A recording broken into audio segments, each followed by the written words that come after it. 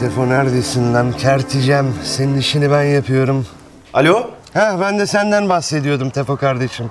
Nasıl keyifler Gıcır? Çok şükür efendim. Var mı benden bir emrin? Yok o nasıl söz Ali Bey? Postayı bırakmışsın gitmişsin. Dükkana gideceğim senin işini ben yapıyorum. Ben sana bu herifin peşinden ayrılma demedim mi? Ailevi bir mesele vardı. Kusura bakmayın Ali Bey hemen geliyorum. Yemişim meseleni. Senin ailen biziz artık oğlum.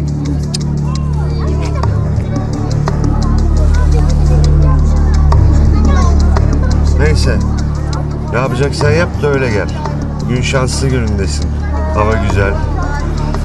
Manzara güzel.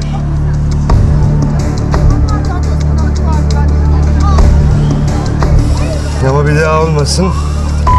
Ağzına.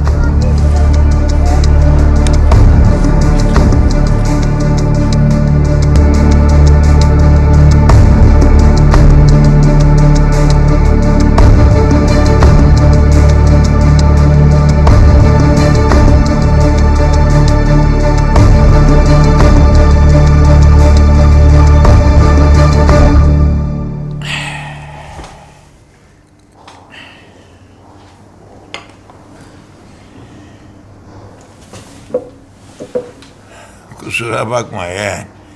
Şeker yasak bana. İstersen şeker niyetine bir hikaye anlatayım sana. ha? Hasan Sabbah'ı bilir misin? Hasan Sabbah yalçın bir dağın tepesindeki bir adam. Kartal yuvası bir kalede oturuyor. Alamut Kalesi'nde. Krallıkları deviren, adalet dağıtan, dehşet saçan bir adam. O zamanın Selçuklu Sultanı Selahaddin bu Hasan Sabbah'ın peşine kelle avcılarını göndermiş. Hasan Sabbah'ın kellesini istemiş.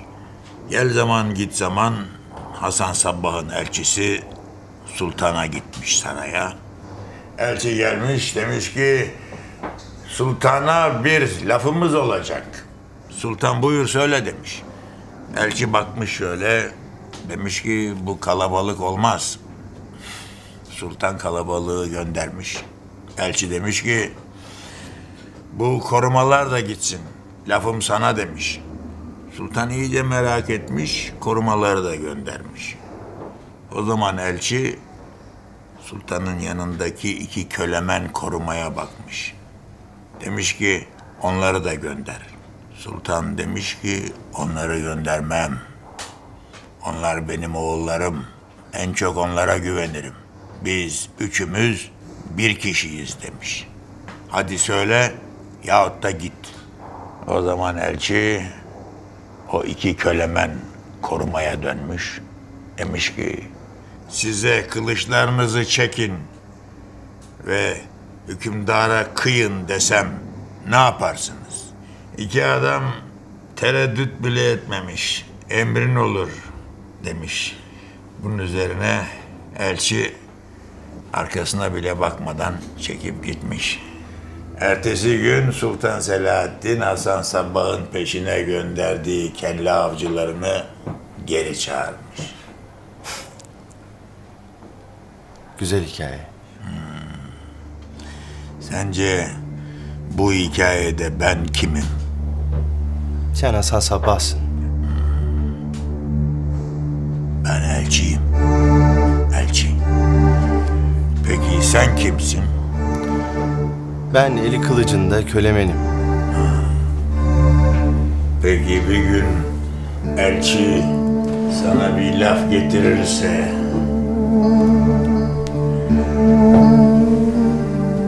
ne yapacaksın? Kusura bakma dayı ben basit adamım. Öyle senin kadar anlamam kitaplardan. Eğer sözü getiren sözün sahibi ise ne gerek var elçiye? Ee, senin kafanı fazla karıştırmayalım yani. Peki Ezel sana vurma derse, ben vur dersem ne yapacaksın? Öyle söylesene dayı. Sen vur dersen vuracağım elbet.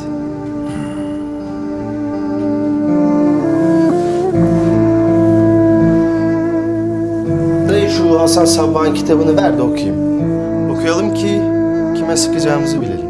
Sen kitapla kafayı karıştırma kardeş. Lafı dinle yeter.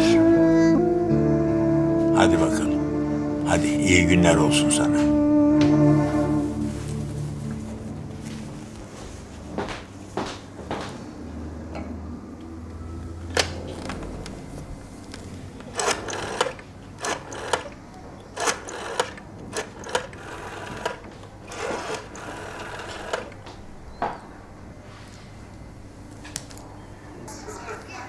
Ezel, nereye düştün öyle yeğen? Çalışıyorum dayı. Buyur. Hiç. Dün akşamdan konuşamadık. Bir faydam oldu mu merak ettim. Sağ ol. Tamamdır. Ama bana yaptırmadığın şeyleri üstüne alıyorsun. Dikkat et üstüne yapışmasın. Sırada ne var? Daha önce bir iş var. Ee, var mı yardıma ihtiyaç? Yok. Bu diğerleri gibi değil. Kendi kendine giriyor kafese. İnsanın serbest bırakası geliyor vallahi. Ee, bırakacak mısın yeğen? Konuşuruz dayı. Çocuklar, beğendik mi hediyeleri? güzel, güzel. Tamam, güzel. Güzel. Sessiz olun çocuklar. Laf dinleyin, yaramazlık yapmayın. Müdür bey bize bir beş dakika izin verir misiniz? Hem hasret gidermiş oluruz. Aa, tabii e, ben sizin için şey etmiştim. Teşekkür ederim. Ezel abi, Ezel abi. Bu abla senin şey mi? Yenge mi? Hayır değilim çocuklar. Aa abla kaçırma sakın. Ezel abi çok yakışıklı. Bir de çok zengin. Onlar geçici şeyler çocuklar. Ben iyi kalpli birini arıyorum. ben çok iyi kalpliyim abla. Beni al. ben al abla, ben al. Hemen kendi yatağımı da yapıyorum. Of. Öpüyor ama almaz seni bir kere. Çok küçüksün sen. Gel bakayım buraya. Gel, gel, gel, gel, gel. Küçük mü dediler sana? Ha? Gösterelim mi onlara kimin küçük olduğunu? Göster bakayım pençelerini. Kaldır ellerini. Kaldır. Hadi korkutalım onları. Bir de bunları korkutalım. Şimdi burada. Ha. Bir de buraya. Ya gösterdik onlara kimin küçük olduğunu. Gel bakayım. Hadi bakalım. Hadi oturun bakalım.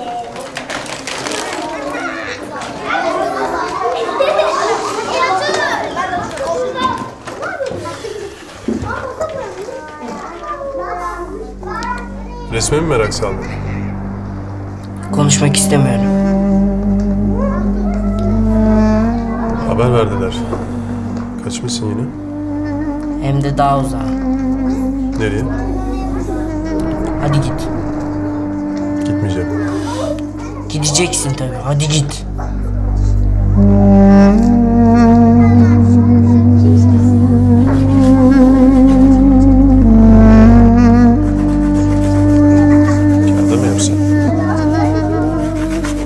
Bey ne kadar özel biridir anlatamam.